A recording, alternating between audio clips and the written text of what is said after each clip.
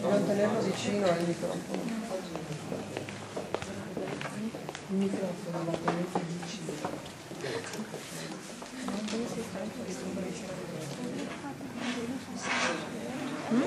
Devi passare per la spazio.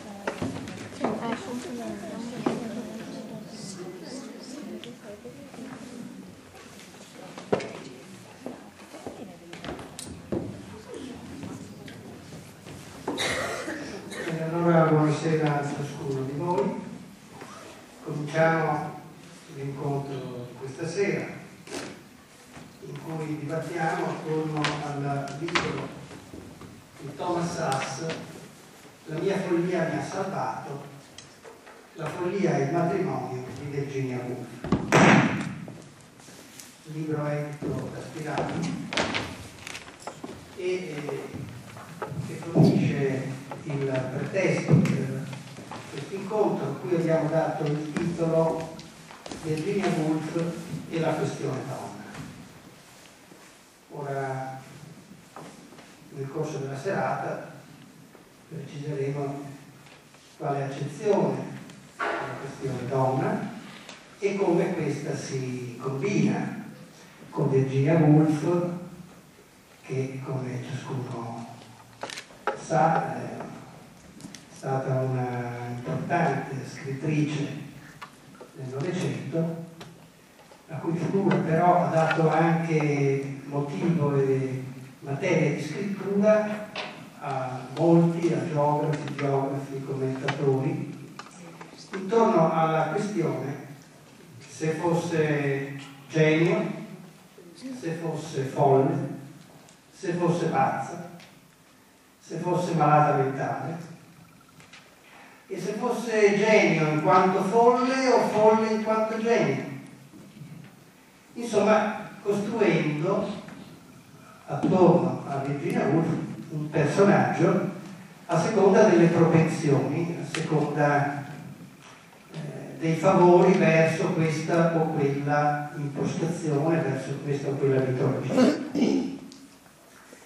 Quindi eh, questa sera è anche l'occasione di esplorare questa questione della follia, della pazzia, della cosiddetta malattia mentale, di attraversare quindi questa credenza, questo luogo comune peraltro così radicato, così facilmente condivisibile, il più delle volte a prescindere da un'analisi, da un'interrogazione in merito alla portata della facile etichetta di folle, di malato, di pazzo, di malato mentale. È una questione che è del tutto attuale, anche oggi. E oggi più per l'interesse che ha verso gli adulti, per ciò che riguarda i bambini. Eh, sicuramente non è ignorata l'etichettatura che in molti casi nelle scuole avviene verso quei bambini considerati difficili, considerati dall'attenzione fluttuante, eh, considerati iperattivi, iperattivi e quindi quanto iperattivi malati. E che quindi sono fatti oggetto di un trattamento precoce. Trattamento precoce che cosa vuol dire? Somministrazione di psicofarmaci. E, e, e questo sotto l'egida, tra virgolette, della scienza, che ha riproposto come novità un antico farmaco degli anni 50 e che sarebbe la panacea contro questa malattia dei bambini. bambini iperattivi. Quindi c'è questa questione del moltiplicarsi delle diagnosi di malattia, del moltiplicarsi quindi anche delle somministrazioni farmacologiche e della condivisione di riconoscere questo come un contributo alla salute, alla salute di ciascuno. E forse è il caso di distinguere la salute da questa impostazione che è una impostazione eh, intollerante verso ciascuna condotta che risulti anomala. L'anomalia in questo processo di scientizzazione, l'anomalia diventa indice di malattia, quindi diventa malattia. Questo percorso non è di oggi. Thomas Sass, con le, le opere che ha scritto sin dagli anni 50 e quindi constatando ciò che accadeva negli Stati Uniti e poi è giunto anche sino a noi, già negli anni 50 e 60 con eh, i suoi primi libri, uno dei quali è un, diciamo così, un libro che è rimasto famoso nella storia della mitologia psichiatrica e il mito della malattia mentale, ha esplorato proprio questa questione, e cioè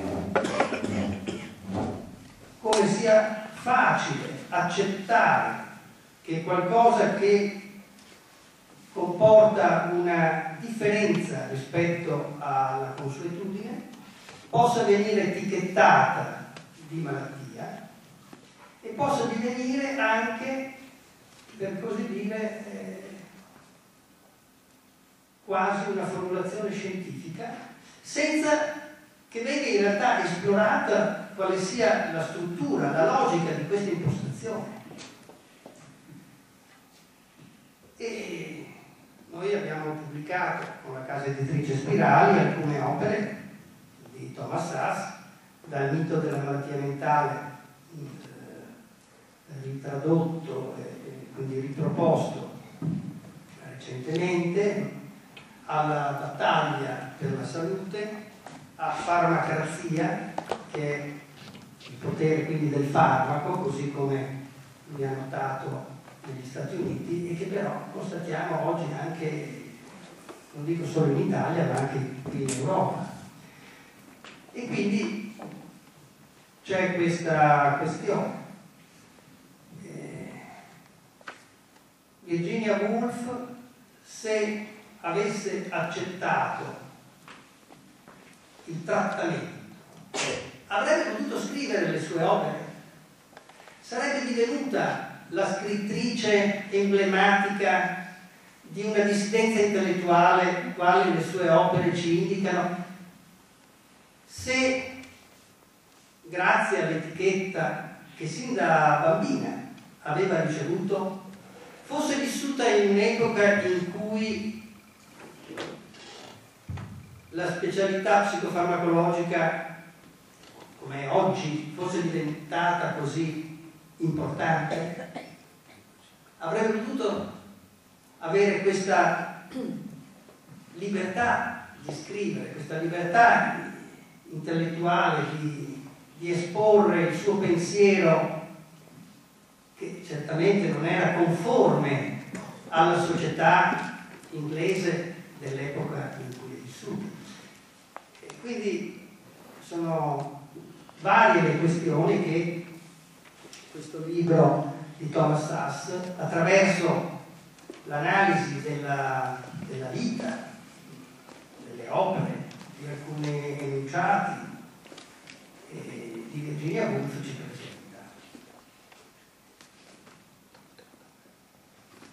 Per affrontare questo dibattito abbiamo